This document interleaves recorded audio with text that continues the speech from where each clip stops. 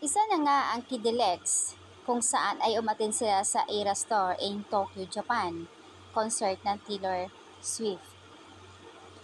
Halata sa kanyang Instagram IG story kung saan ay napakasaya kasama ang kanyang mga kaibigan at hindi kasama si Kiddy.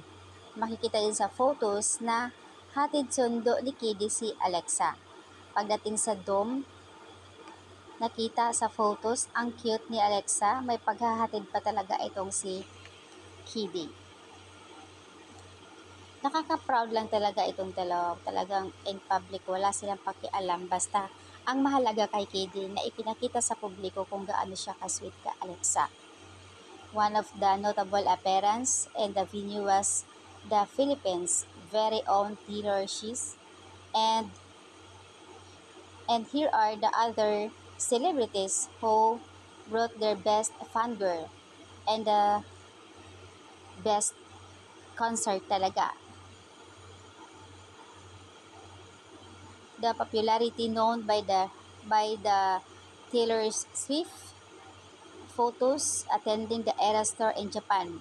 Super proud and nakikita naman sa video napakasaya ni Alexa may pagaya-gaya pa habang kumakanta si Taylor. Idol na idol talaga.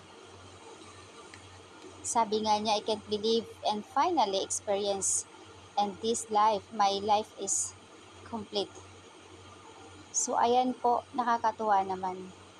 Certified and the Swifty Alexa Ilacad is also sure not to miss the concert.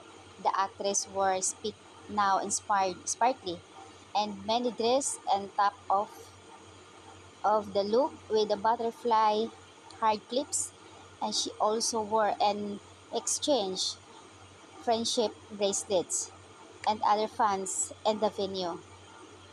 Grabe. Nakakatuwa naman pagdating sa concert.